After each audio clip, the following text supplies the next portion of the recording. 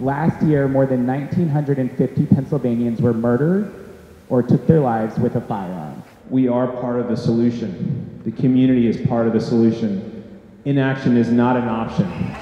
And my heart was crushed. I mean, really crushed. The way my son was brutally murdered. So I, I lost my boyfriend, Talbert Jackson, to murder. If you came here tonight for Nick, thank you. But you're also here for James, and you're here for all the victims. I share this story because that could have been prevented. In September, we had a tragic mass shooting here at Roxborough High School, and in addition to the fact that children were shot, one child, Nicolas Elizalde, was murdered.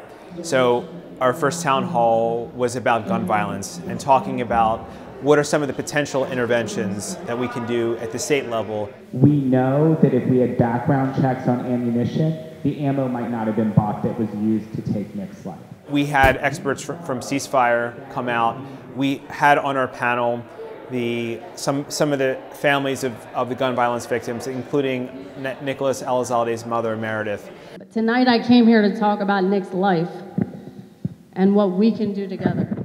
So we talked about some very specific things like promoting green spaces, funding schools, making sure that we're funding mental health resources for our schools. But you all know best, really, what it is that you need. We also talked about very specific things that we could do to help curb some of these issues of, of gun violence, like red flag laws, um, also uh, extreme risk, risk protection orders. So um, this is something that I'm going to be working on with my colleagues in the House uh, till we can move the needle on uh, preventing further issues of gun violence in our community. What I've learned from this past and implore you all to do is to open your eyes, be human, dream lucid. Thank you all for being here. I appreciate it.